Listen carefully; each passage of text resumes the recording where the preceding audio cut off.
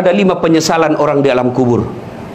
Satu di antaranya, ketika sudah dia gosok meninggal arwah, dia gosok matanya, dia buka. Kata dia, eh saya di mana? Eh kau sudah meninggal, dah saat. Eh saya sudah mati. Iya. Eh ya Allah, hidupkan saya kembali. Hidupkan saya kembali ke dunia. Sekejap saja, kira-kira satu menit lah kalau boleh. Ya Allah kembalikan saya ke dunia. Untuk apa? Solat bukan. Puasa bukan. Haji bukan. Saya hanya ingin berkata Ya Allah Semua hartaku aku sedekahkan Pisabilillah Kenapa bukan minta solat? Karena solat hanya bisa dapat pahalanya ketika kita masih solat. Haji hanya bisa kita dapat ketika kita haji. Puasa hanya kita dapat ketika kita puasa. Tapi sedekah Meskipun sudah tulang belulang hancur Kita tetap mengalir. Itulah yang disebut sedekah jariah Keliru bapak ibu yang Allah kasih rezeki, bapak tidak bersedekah. Keliru. Dan alhamdulillah makin bersedekah, Allah makin ganti. Maka almarhum almarhumah insya Allah lapang kuburnya karena ada sedekah beliau. Yang ketiga, yang akan menolong kita di alam kubur adalah ilmu yang bermanfaat almarhum almarhumah beliau suami istri tokoh pendidikan. Itulah ilmu yang bermanfaat. Ketika diajarkan ilmu hukum kepada mahasiswanya diajarkan tentang keadilan lalu anak mahasiswanya menjadi pengacara yang membela dan menegakkan keadilan selama itu juga amal-amal akan mengalir.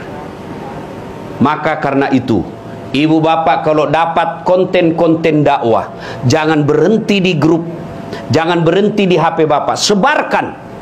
Bapak punya 10 grup WhatsApp. Satu grup 100 orang, kirim 1000 orang yang terima. Kalau ada yang mengamalkan lima orang, selama lima orang itu amalkan, Bapak dapat pahala seperti pahalanya penceramah tanpa mengurangi pahala penceramah. Ilmu yang bermanfaat adalah yang bisa menyelamatkan kita di alam kubur. Inilah tiga yang akan terus mengalir meskipun kita sudah di alam kubur bahkan sudah habis tulang belulang kita. Anak yang soleh dan soleha. Sedekah harta. Kemudian ilmu yang bermanfaat. Dan orang yang ada di alam kubur sekarang masih transit.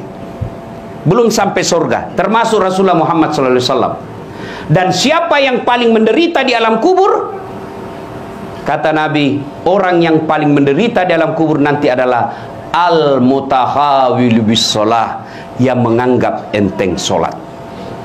Saya mau tanya, bapak-bapak kalau pergi merantau ke Sulawesi Selatan, ternyata bapak tidak nyaman di Sulawesi Selatan, ada pilihan? Ada? Ada. Balik lagi ke Jakarta.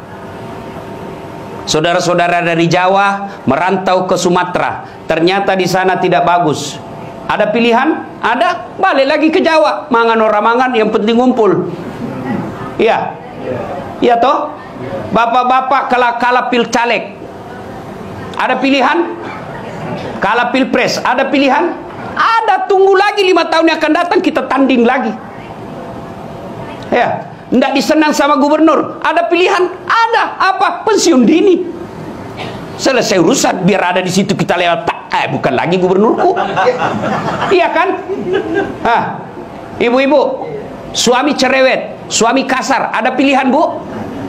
Ada. Pulangkan saja aku pada ibuku atau ayahku. Selesai. Ya bapak-bapak punya istri cerewet. Ngamu aja kerjanya. Ndak tahu menghargai suami. Ada pilihan ada dua pilihan. Satu tambah jadi dua.